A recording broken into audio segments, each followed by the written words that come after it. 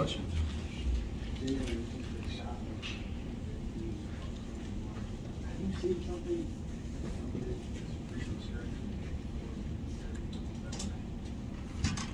Not, you know, it's who he is. It's, you know, he, he's going to give the game whatever it needs. So if we need more scoring, he'll be scoring. He's in the paint, creating havoc. I think when they went to the double team, he got off the ball quick. And then we got good offense from that as well. But he's, he just gives the team a lot of confidence. You know, and I thought we had a number. I thought our bench, Josh was terrific. Quick gave us great minutes. Isaiah gave us great minutes. Uh, Julius made a lot of big plays for us. Um, so, you know, we had a stretch where we didn't play well in, in, the first half, and to close out the second quarter, and then we came out. And we started the third well, then we sort of had a lull, and then but uh, it, it was steady. The bench came in, and you know, it got us to play with uh, more poise, but. Uh, overall, just a good solid win. How does Jalen pile up these one great game after another? Kind of wonder what everyone was thinking not having one also. Well, you know, uh, it's pretty. You know, I've said this before. It's pretty obvious, I think, to all of us because we see him every night. You know, and the, the unfortunate part of the All Star thing is that there's not enough spots. So inevitably, someone deserving gets left off. But in my eyes, he's he's an all-star. Uh, you know, I'm thrilled. Obviously, uh, Julius has had a monster, unbelievable season, and so thrilled for him. Very deserving. But I think the better the team does, the more will be players will be recognized. Tom, everybody saw the uh, I'm sorry, everybody saw the video of Jalen responding when he got traded for Hart. It's kind of that's heartless. Villanova thing. Yeah, but I mean, you know, college boys play each other all the time. I mean, you're necessarily getting, you've seen the first two games. I mean, could you tell, right, when the first time one before together that they had something? Yeah, it's pretty, it's pretty easy to see. And, and I think he has uh, good, really good chemistry with Julius as well. You know, they, they play together. But the thing with Jalen and he is to go through uh, big moments and have the, pressure of winning a national championship together, I think, you know, that ties you together with that group forever. So their bond is special. And the thing I love about what Josh does for the team is it's for the team, everything, you know, and I think there's a lot of guys that, you know, score points in this league they really don't impact winning the way Josh impacts winning.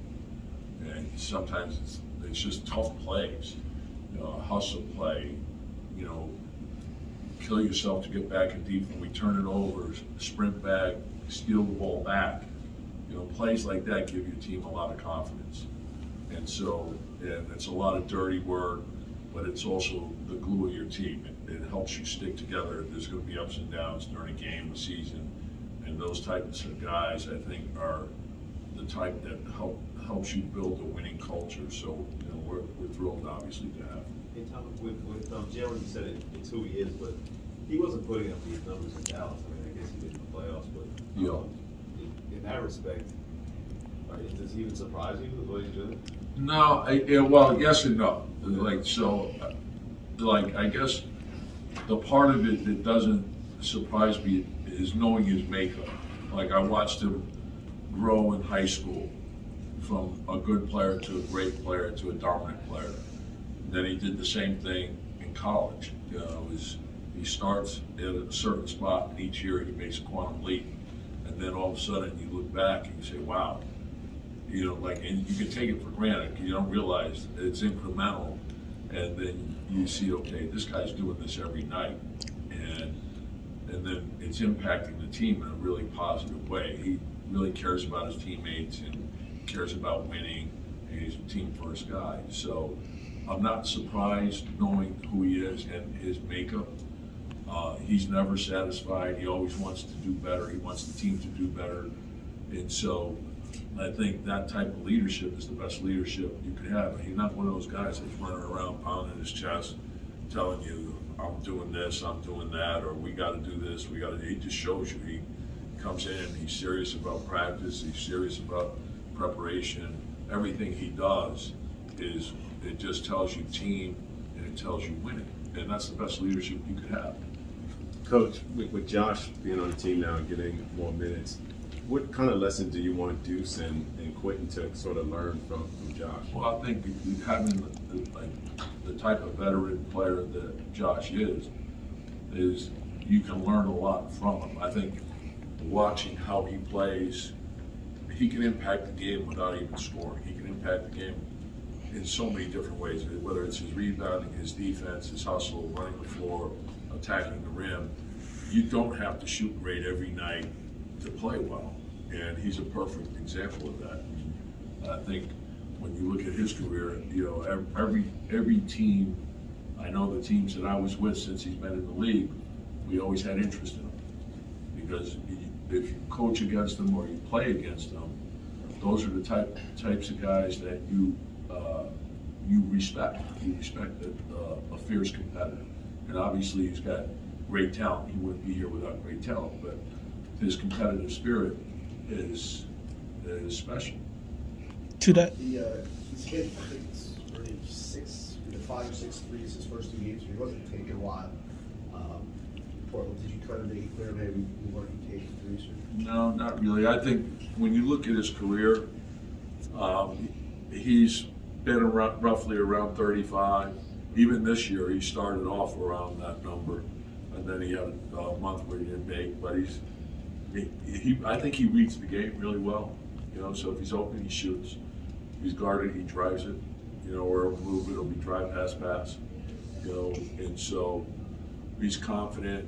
Uh, he's, I wouldn't say he's you know, I think he, he's great finishing. He's, he's not afraid to shoot. He, he knows how important that is. We, we want to be, if we're high volume and we're around league average, I, I know that puts us in a good spot. He said you gave him the green light.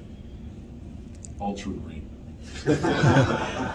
did talk about the similarities. I know it's only two games, but the similarities you've seen the two Villanova guys. Um, you know, hard playing, team oriented, smart, can think on your feet, uh, good basketball IQ, uh, playmakers. And when I say playmakers, I'm not talking about necessarily the pass. It's whatever the game needs. Do we need defense? Do we need hustle? Do we need an offensive rebound? Do we need what? Is, what is it that we need? And they make that happen. You know, so I think with all those characteristics, that's also what drives achievement. It drives improvement. The more guys you have like that, the better it is for your team. So I think when you look at winning teams in this league, they prioritize those characteristics. It Sounded like you just described a little Jimmy Butler there. I can tell you an interesting story. That's Josh reminded me of when I was in Minnesota. We obviously studied him pretty extensively, and, and watching Jimmy in uh, in college and the things he did at Marquette. Josh reminded me of that with the things that he did at Villanova. So, and you, there's just something about him, and uh, you know, I think those those type type of players, they give your team heart, they give your team toughness, and that goes a long way. Do you remember your initial reaction when you guys were getting the trade? Like, I'm sorry. Do you remember your initial reaction when you knew you guys were getting the trade for him? Uh, Wednesday, Yeah, no, I just, you know, I said, Leon, that's a Leon question. uh, you know, and Leon's always looked at different guys, and he was always someone that we had talked about. And I knew if the right opportunity came, he would, and I'm thrilled that he did what he did. So he and his staff did a great job with that, and I think it's a, it's a great fit for our team, and I think we all can see it. I know he got traded last year. Were you guys ever close to getting him last year? Um, That would be illegal, right? Say. Right? Give it a pause first. Because you're starting mad. Pause. I'm